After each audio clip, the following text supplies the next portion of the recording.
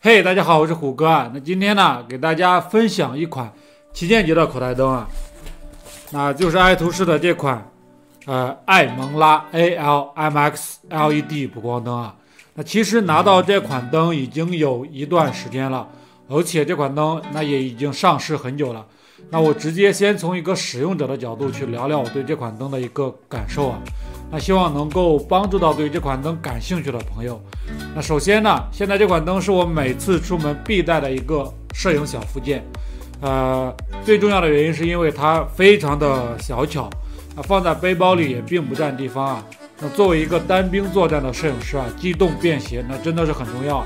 那另外，MX 自带的这个小包啊，那质量也是非常的好，拿在手里非常的有质感。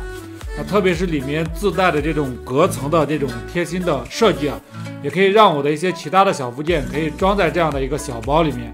那这也是我愿意带这款灯出去的一个原因之一啊。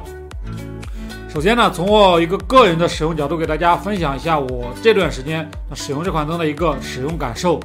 那在一次婚礼拍摄过程中啊，我用到了这款补光灯，那拍到了两段素材啊，那这个是没有使用。MX 拍摄的画面，那这个是使用 MX 拍摄的画面。我们可以看到，在这种小的场景下，MX 对于画面的提升是有很大的帮助的。那婚礼的过程光线是比较复杂的，很容易导致拍摄的大部分素材质量不足，在剪辑的时候无法使用。有的时候带一个小的 LED 补光灯，确实会提升一些拍摄场景的素材质量。那前段时间我还拍摄了一组照片。因为个人的习惯啊，比较喜欢更多的依靠自然的光线去拍照。当然，如果能带一盏外拍灯的话呢，绝对是可以对画面有质的提升啊。这张照片呢，是我用 MX 补光灯在暗部进行补光的。大家可以看出来，亭子内的光线是比较暗的。我找了一张没有补光的照片呢，两张对比是可以看出来脸部的质感是有不小的提升的。所以呢，一盏小小的灯也是可以为我们的拍摄带来改变的。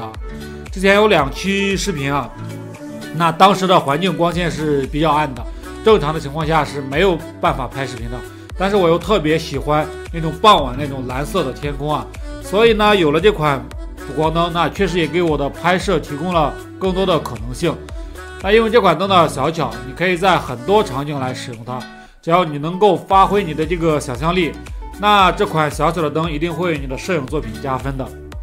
那这次 MX。这款灯啊，在市面上几乎找不到与之相抗衡的产品，甚至 MX 比它的前一代产品 M9 也要强悍了许多。那这也是为什么它的价格是其他品牌的同类产品的价格两到三倍之多，八百九十九人民币。那对于一款小的 LED 灯来说，价格确实不便宜。但是我给大家简单介绍一下它的这款灯的性能，你就明白了为什么它会卖这么贵了。